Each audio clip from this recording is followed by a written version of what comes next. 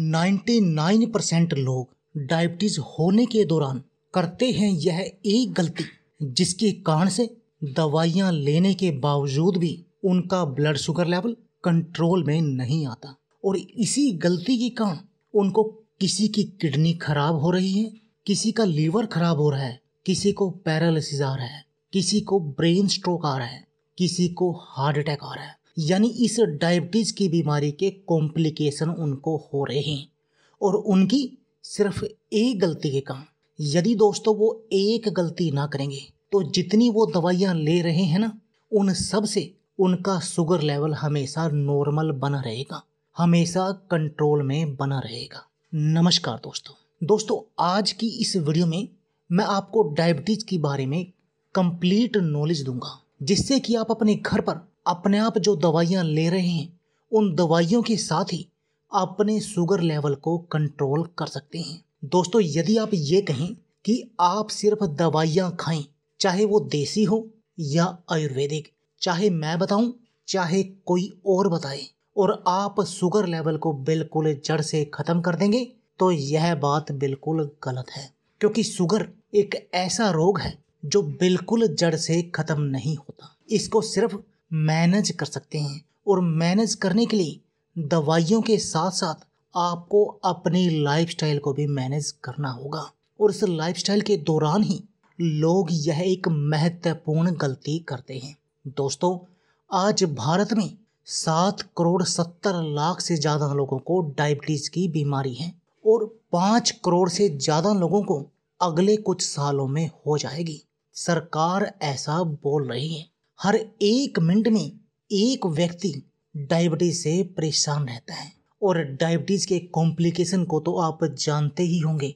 इसके कॉम्प्लिकेशन की तो भरमार है। आप इसको कंट्रोल करके, इसको मैनेज करके, आप इस डायबिटीज़ की बीमारी को भी कंट्रोल में रख सकते हैं। और इसके कॉम्प्लिकेशन से भी, सभी प्रकार के कॉम्प्लिकेशन से भी बचे रह सकते हैं। दोस्तों, यदि आप इस डायबिटीज़ की बीमारी को अच्छे से मैनेज नहीं करेंगे तो इस डायबिटीज़ की बीमारी के कारण आपका पूरा शरीर बीमारियों का घर बन जाता है और तरह तरह की बीमारियाँ आपको घेर लेती हैं। किसी का लीवर खराब हो जाता है, किसी को किडनी की समस्या आ जाती हैं, किसी को दिल की समस्या आ जाती हैं किसी को कोलेस्ट्रोल की, किसी का ब्लड प्रेशर बढ़ने लगता है, यानी बहुत सारी बीमारियाँ शरीर में जन्म ले लेती हैं। और दोस्तों, वैसे भी यदि आप शुगर को कंट्रोल में करना चाहते हैं, इसका सही से समाधान करना चाहते हैं तब आपको ऐसा करना होगा कि आपका शरीर खुद से इंसुलिन बनाना और उसका इस्तेमाल करना शुरू कर दे। वैसे 80 से 90 परसेंट केसेज में इंसुलिन बनता ही नहीं है और लोगों को इसके इंजेक्शन बाहर से लेने पड़ते हैं। लेकिन आज की इस वीडियो में जो दिनचर्या मैं आपको बताऊँगा, यदि आप उस तरीके से उसका पालन करेंगे तो दोस्तों आप अपने डायबिटीज़ की बीमारी को जिन दवाइयों अभी ले रहे हैं, उन्हीं के साथ हम मैनेज कर सकते हैं और भविष्य में आपकी दवाइयाँ बढ़ेंगी भी नहीं, बल्कि उल्टा धीरे धीरे आपकी दवाइयाँ कम होती जाएँगी। एक नॉर्मल इंसान जितना जीता है ना दोस्तों, यदि डायबिटीज़ की बीमारी को आप अच्छे से मैनेज करेंगे तो उससे अधिक जीवन जिएँगे। तो चलिए आपको बताते हैं कि आपने इस डायबिटीज़ की बीमारी को मैनेज कैसे करना है और वो सबसे बड़ी गलती क्या है, जो इस बीमारी के दौरान 99 परसेंट लोग करते हैं। दोस्तों, सबसे पहले तो आप जो भी अपनी दवा ले रहे हैं, आप उसको एज इट इज़ ऐसे ही लेते रहिए। इसके साथ में आज की इस वीडियो में मैं आपको दिनचर्या बताऊँगा, एक नुस्खा बताऊँगा, आपने उसका प्रयोग करना है। इससे आपको धीरे धीरे फ़र्क होता जाएगा और धीरे धीरे आपकी वो एलोपैथी दवाइयाँ बंद हो जाएँगी। तो चलिए सबसे पहले बताते हैं इस दिनचर्या के बारे में। जो सबसे महत्वपूर्ण है, इस जो मैं दवा बताऊँगा, जो नुस्खा बताऊँगा, उससे भी अधिक महत्वपूर्ण है आपकी लाइफस्टाइल दोस्तों, आपको सबसे पहले सुबह उठना है और सुबह उठकर आपको दो से तीन गिलास पानी पीना है, साधारण पानी। नॉर्मल पानी पीकर आप घूमने चाहिए सैर वगैरह आपको ज़रूर करनी है। दोस्तों, आपको स्लो नहीं चलना। तेज कदमों के साथ चलना है। जितना भी आप चल सके अच्छी तरह से। आपको ये काम दोनों टाइम करना है। शाम को भी आपको सैर करनी है और सुबह भी आपको सैर करनी है। उसके बाद आप मेथी का पानी पीजिए। रात को एक चम्मच मेथी दाना, एक गिलास पानी में मेथी और कलौंजी। एक चम्मच मेथी दाना का आधा चम्मच कलौंजी के बीजों का आप पानी में भिगो कर रख दीजिए और सुबह खाली पेट घूम कर आने के बाद आप उस पानी को पीजिए।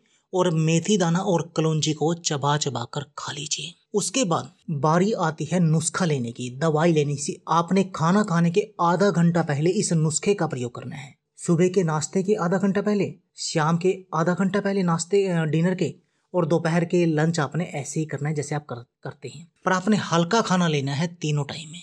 अब नुस्खे के लिए जो आपको सामग्री चाहिए वह है दोस्तों आपको इसको बनाने के लिए चाहिए 50 ग्राम मोटी सौंफ चाहिए जो हम अचार वगैरह में प्रयोग करते हैं। 50 ग्राम आपको सूखा आंवला चाहिए 50 ग्राम आपको गुड़मार बूटी चाहिए 50 ग्राम ही आपको सूखी नीम की पतियाँ चाहिए 100 ग्राम आपको काली जीरी चाहिए और 250 ग्राम चाहिए आपको जामुन की गुठली दोस्तों, आपने इन सबको किसी भी पंसारी से लेकर आपको इनको छाया में सुखाना है और इनका कूट पीस कर ग्राइंडर करके इनका पाउडर बनाना है। ये है वो नुस्खा जो आपको खाना खाने से आधा घंटा पहले लेना है। अब आप इसका सेवन कीजिए। और जब बात आएगी उस खाना खाने की, तब आप वो गलती करते हैं। तब दोस्तों, आपने क्या करना है? अभी तक जो आप सभी लोग अनाज खाते हैं, वो सिर्फ़ गेहूँ का, एक ही अनाज का पिसा हुआ आटा खाते हैं। दोस्तों, सभी लोग आपको हर चीज़ पर ध्यान देने के लिए बोलेंगे, पर कभी कोई आटे के बारे में नहीं बोलता। और यही वो आटा है, जो हम सुबह खाते हैं, दोपहर खाते हैं और रात को डिनर में भी खाते हैं।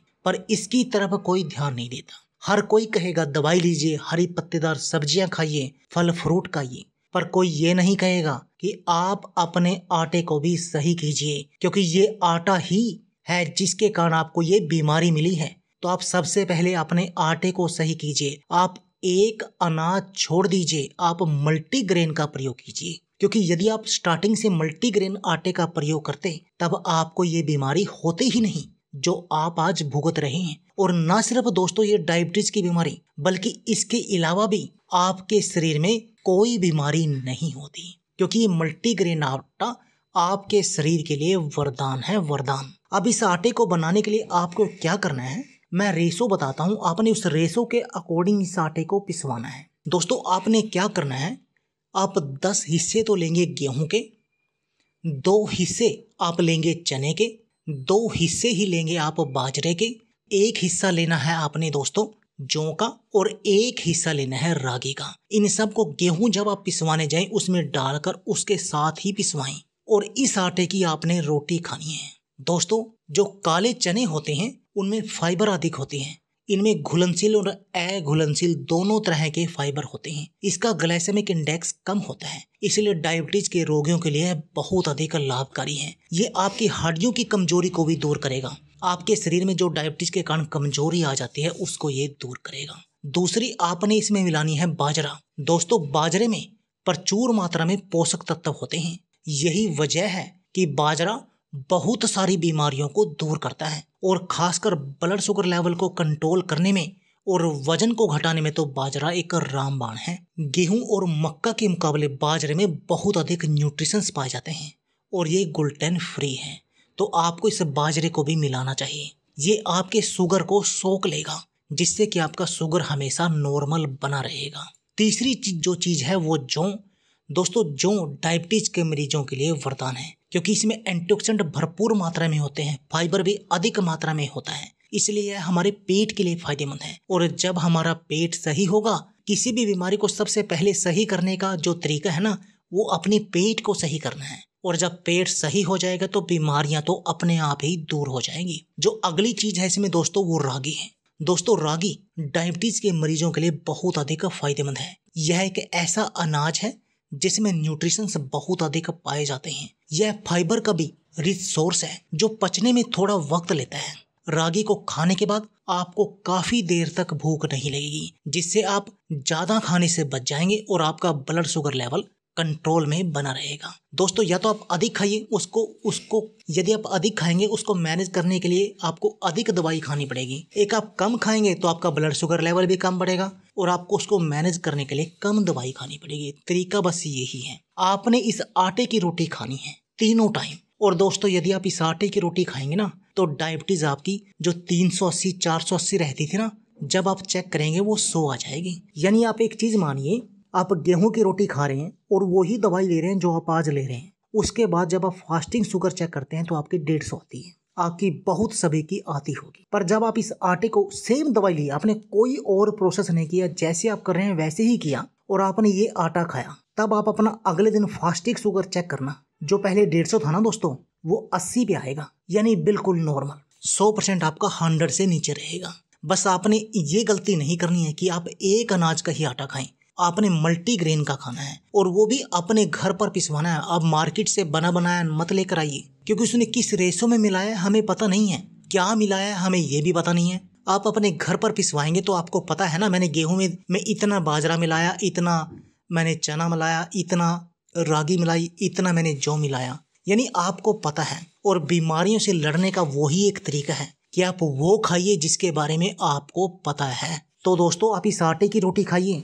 और जो दवा ले रहे हैं लीजिए और इस नुस्खे को लीजिए। फिर देखिए आपका शुगर लेवल कैसे नॉर्मल होगा और धीरे धीरे आपकी वो इंग्लिश दवाइयाँ भी बंद हो जाएँगी और आपके कॉम्प्लिकेशन से भी आप बचे रहेंगे। आपका शरीर निरोगी बना रहेगा, शरीर में कोई कमज़ोरी नहीं होगी। घुटनों का दर्द, हाई बीपी, किडनी जैसी बीमारियों से, हार्ट अटैक जैसी बीमारियों से आप बचे रहेंगे। तो दोस्तों, देर किस बात की है। अगर आपको हमारी वीडियो अच्छी लगे तो प्लीज़ इस वीडियो को लाइक और शेयर ज़रूर कीजिए अपने दोस्तों के साथ, ताकि वो भी इस वीडियो को देखकर इस डायबिटीज़ को अपने घर पर ही मैनेज कर सकें। और यदि आप हमारे चैनल पर नए हैं तो प्लीज़ हमारे चैनल को भी सब्सक्राइब कर दीजिए और बेल के आइकॉन को भी दबा दीजिए, ताकि आपको हमारी सभी आने वाले वीडियो की नोटिफिकेशन आती रहे। धन्यवाद दोस्तों।